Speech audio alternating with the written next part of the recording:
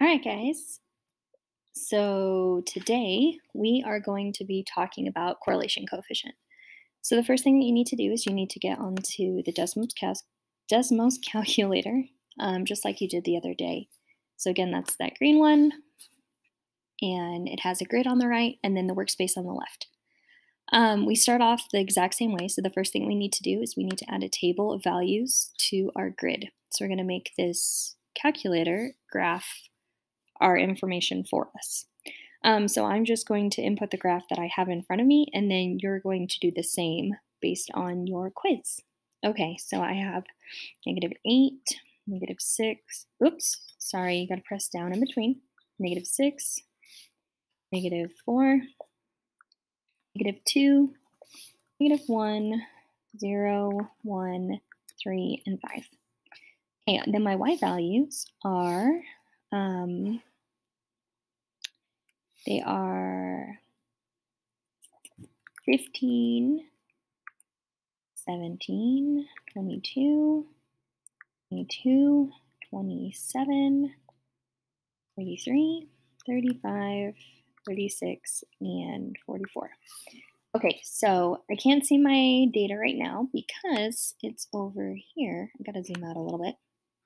Where are you? There it is. Okay. All right, so here's my data. So then the next thing that we're going to do is we're going to figure out the line of best fit. So remember our equation for that is slope-intercept formula, and that's y equals mx plus b. Um, but, oh, y equals mx plus b. Um, but the Desmos calculator doesn't like this formula written like this. So you use a tilde here like that.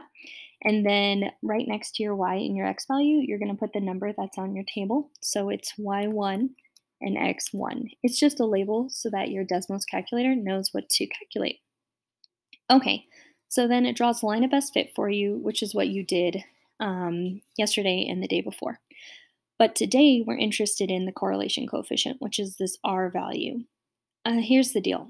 If the slope is positive increasing like this line is, we want our correlation coefficient, the r value, to be positive as well. So if it's a decreasing slope, it's going to be a negative r, and if it's a positive slope, it's going to be a positive r. Um, then it has, it's either strong or it's a weak correlation coefficient. So it's a strong correlation coefficient if it's really close to negative 1, if it's a decreasing slope, or positive 1 if it's an increasing slope. So the slope is positive. So if it's really close to positive 1, then it's a very strong correlation. What that means is that the data is really close to the line of best fit. So all of the data is really, really close. And that makes a huge difference in statistics because then you know if the experiment you're doing is actually working, because you should be getting about the same thing every single time. But if there's a weak correlation coefficient, this number is really close to zero. So R is is weak if it's close to zero and strong if it's close to one or negative one. Here's an example of a weak correlation coefficient. So anything less than 0.5 is weaker. Um, but like this guy, this R value is a 0.2. So it's pretty close to zero and it's not close to one.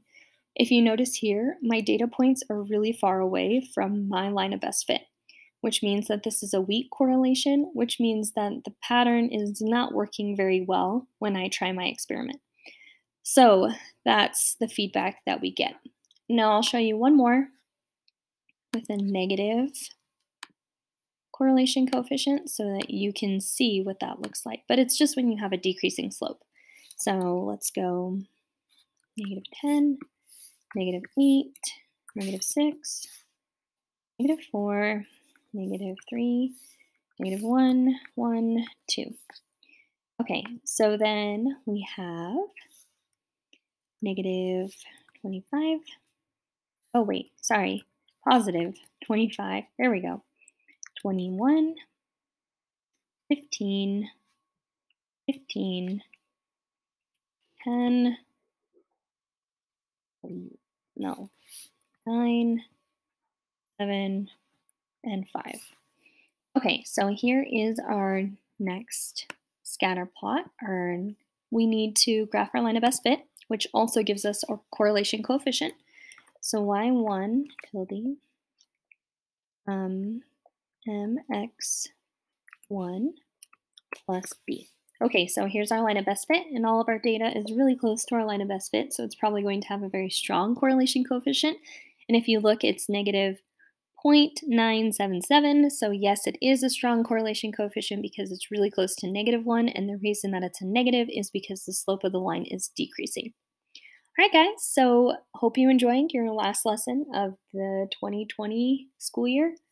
We miss you very much. Please let uh, your teacher know if you have any questions. We're more than happy to help you. Take your daily quiz and have a great day. Bye, guys.